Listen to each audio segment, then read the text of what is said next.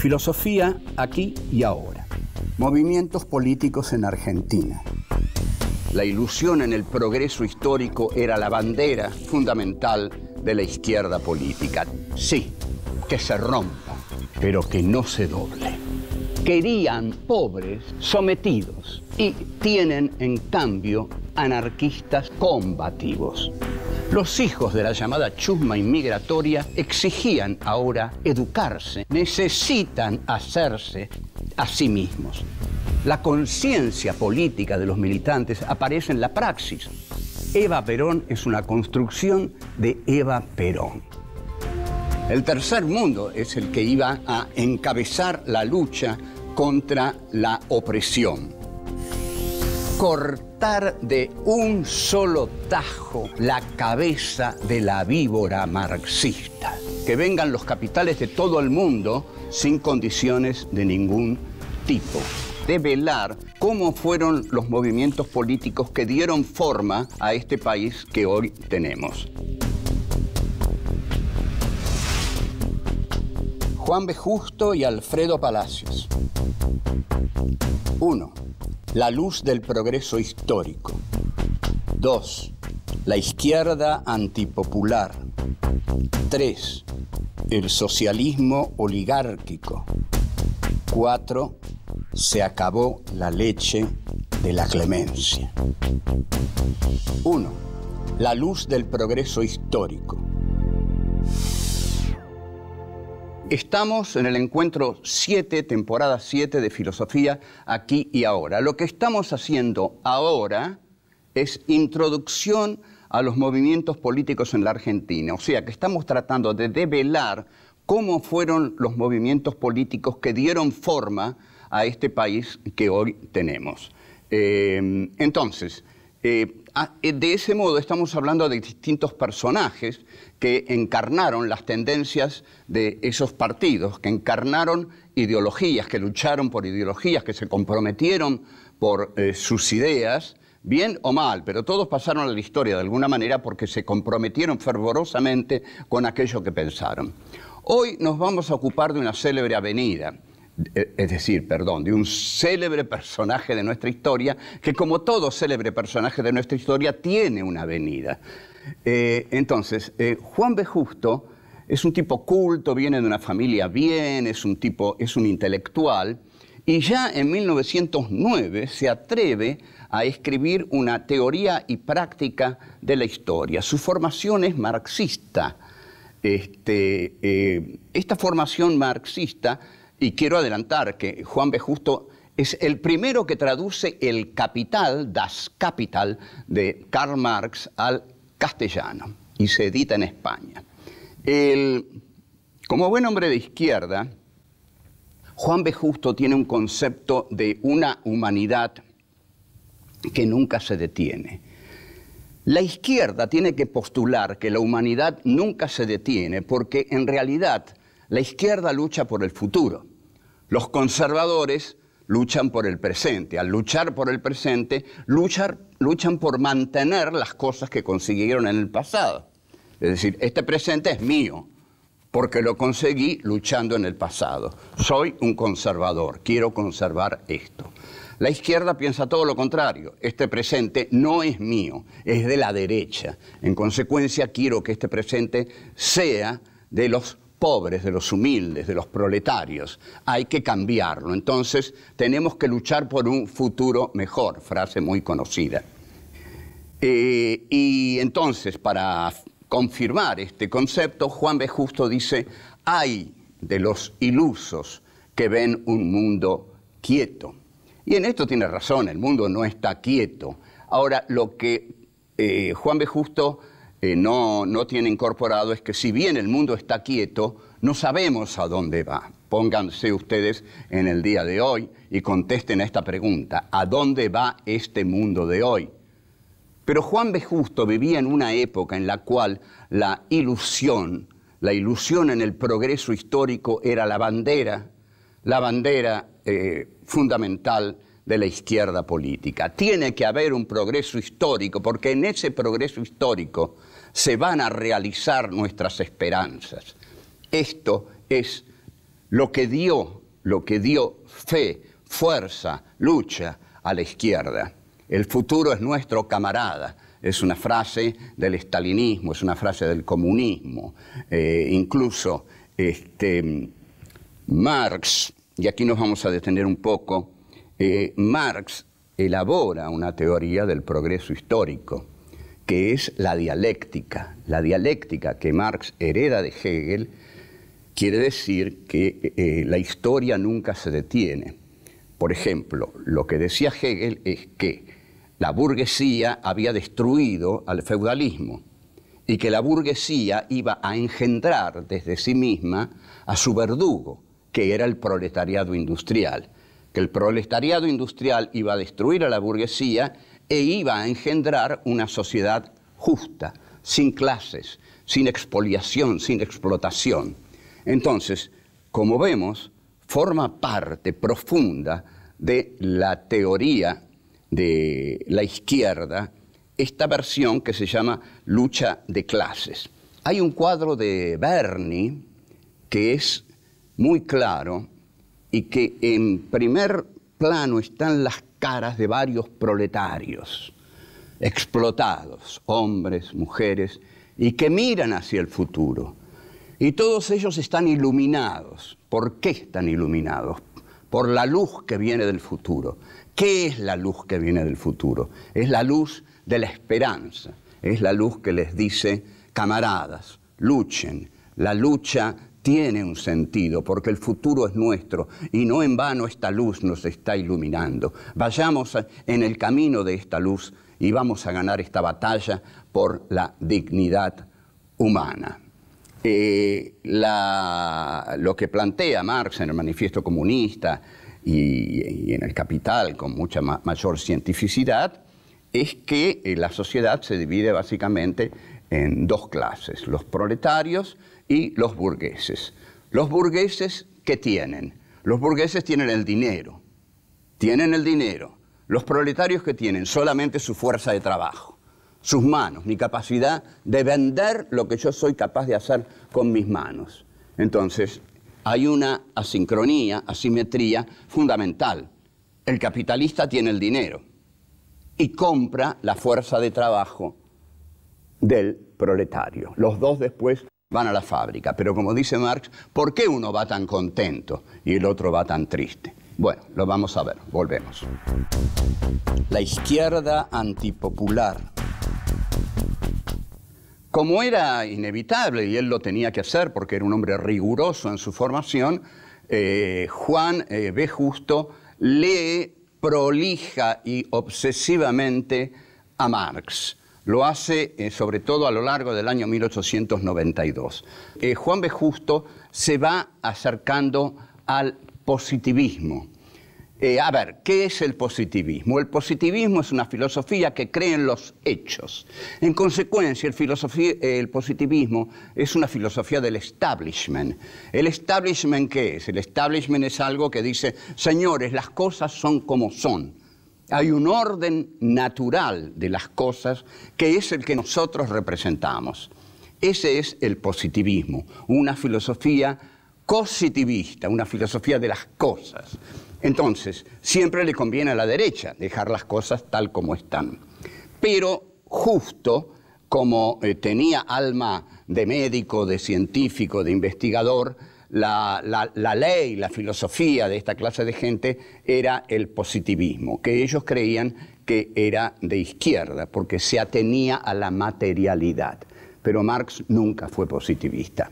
En el devenir de su vida, este, Juan B. Justo eh, llega al diario La Vanguardia, que es un símbolo del periodismo socialista, eh, y ahí justo comienza a, trabajar. ¿Qué es la vanguardia? La vanguardia va expresando las ideas del socialismo en América Latina, pero el socialismo no sabe muy bien qué hacer en América Latina, porque América Latina no tiene lo que tenía la Gran Bretaña de Marx, no tiene proletarios industriales inteligentes capaz de entender la teoría marxista y arrojarse en brazos de la revolución.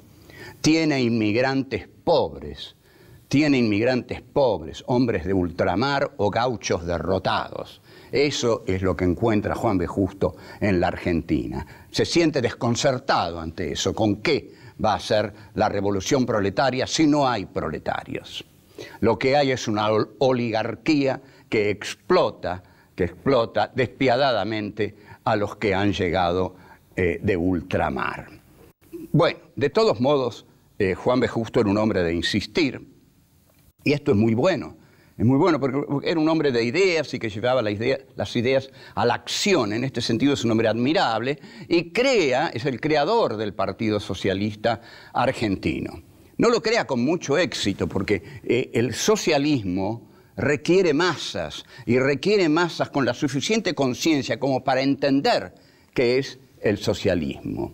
Y las ideas socialistas eh, rechazan el terrorismo y quieren apropiarse del Estado para facilitar eh, la terminación de la lucha de clases y lograr que se disuelva la lucha de clases y llegue el momento de la sociedad de la plenitud en la cual la explotación sea erradicada.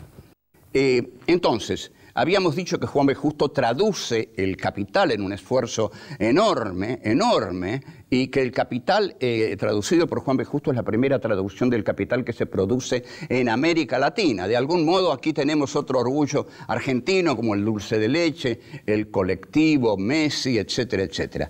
Ahora, al traducir el capital, Juan B. Justo ve que es un texto tan difícil que lo aleja necesariamente de las masas. Y Juan B. Justo piensa, se da cuenta que este libro que Marx escribió en Gran Bretaña, en el British Museum, solo es un libro para Gran Bretaña, que lo pueden entender los proletarios industriales de Manchester y Liverpool, aunque no pueden entender el capital, entienden más los panfletos, el manifiesto comunista. El capital es un libro para fundar, fundamentar el socialismo en los niveles académicos. Eh, con lo cual, eh, efectivamente, ha logrado un éxito considerable, es un libro respetadísimo. Pero la Argentina tiene otro desarrollo respecto de la burguesía inglesa. Es muy simple, la Argentina no solo es un país nuevo, la Argentina es un país periférico, subalterno, que se ha estructurado de acuerdo al pacto neocolonial si alguien cree que en 1810 este país se independizó, hizo una revolución, no. Lo que hizo este país es salir de la órbita hispánica y entrar en la órbita británica. Eso lo llamamos pacto neocolonial. En realidad, eh, la izquierda argentina tarda muchísimo en entender que un país en atraso no puede ser la vanguardia de la historia, que si la revolución socialista no se hace en Gran Bretaña, menos se va a hacer en un país subalterno, explotado, neocolonial. Volvemos. El socialismo oligárquico. Vamos a hablar ahora de otro hombre de la izquierda. Eh, no son estos dos, quizás eh, vamos a hablar de Alfredo Palacios. Juan B. Justo y Alfredo Palacios quizás sean antiguos representantes de la izquierda. De todos modos, la izquierda sigue enfrentando el problema que enfrentaron Juan B. Justo y Palacios, es decir, una lectura muy lineal de Marx que intentan aplicar a la compleja realidad argentina, que es tan compleja como el peronismo. Palacios, entonces, Palacios era un disfrazado sin carnaval, como diría Discépolo, ¿no? Un disfrazado sin carnaval. Porque estaba disfrazado de qué? Estaba disfrazado de mosquetero, de paladín romántico, con un sombrero de ala, de ala ancha, eh, unos bigotes así, se vestía de negro y usaba una capa de tanto en tanto.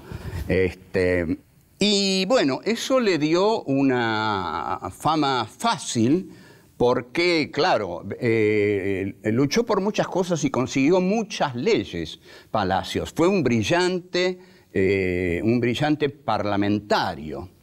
Y, eh, por supuesto, formó parte de la Unión Democrática junto a todos los sectores oligárquicos y al embajador de los Estados Unidos, Spruill Braden, que encabezó esa eh, manifestación de la civilización contra la barbarie que avanzaba inexorablemente. Palacios, pese a ser un hombre de izquierda, acompaña a la oligarquía con enormes carteles de Rivadavia, Sarmiento y Mitre. No sé qué carteles hubiera puesto Palacios.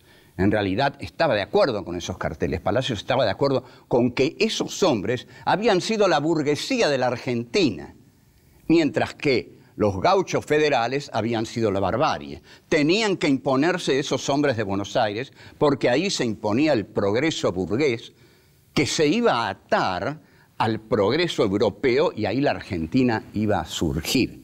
Este es el esquema de Marx. Marx decía que los países bárbaros debían ser tomados por los países centrales y los países centrales los iban a desarrollar y a crear en ellos condiciones revolucionarias porque iba a surgir de la burguesía el proletariado revolucionario. En cambio, de los indios o de los chinos no iba a surgir nada hacen una traslación mecánica de eso y dicen, bueno, de los gauchos federales no va a surgir nada. En cambio, de la culta Buenos Aires, con sus relaciones con Europa, va a surgir alguna vez el proletariado que nosotros necesitamos. Y este, entonces todo va a cambiar. Apostemos, mientras tanto, tácticamente quizás, por la burguesía argentina.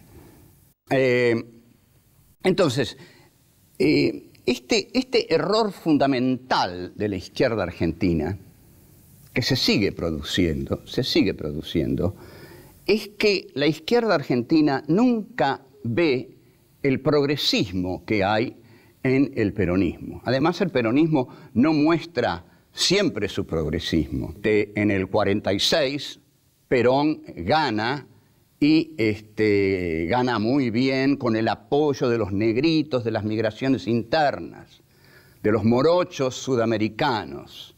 A esos negritos y morochos sudamericanos Perón es el que les da cobertura política. No importa por qué, si era bueno, si era un demagogo, si era un manipulador, era un modo de construir política. Perón vio, Perón vio al sujeto político de ese momento. Todos los demás no lo vieron o lo detestaron. Entonces, Perón con eso construyó su poder.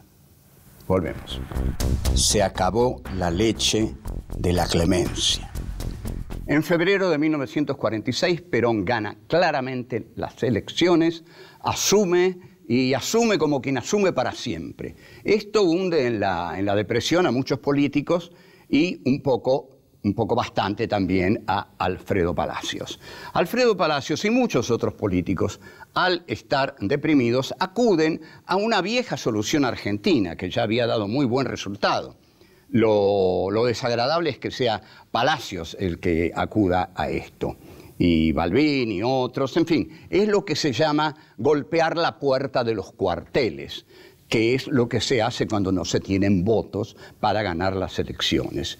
Eh, el caso es que lo mete preso a Palacios.